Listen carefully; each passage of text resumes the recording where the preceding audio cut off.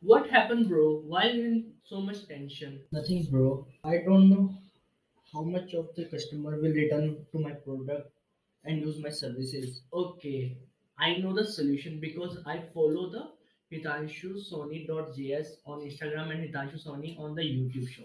So the solution for this problem is you should use the artificial neural network because since you have the lots of customer base and you have to predict the will the customer will return to your product or not.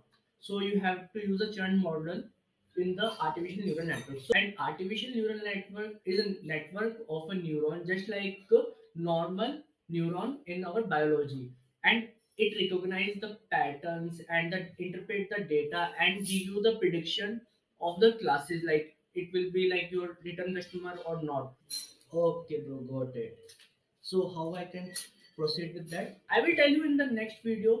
So how can we proceed with the artificial neural network and how we can build our own artificial neural network for your problem statement. Okay, bro. Thank you. And you guys, please follow Hitanshu.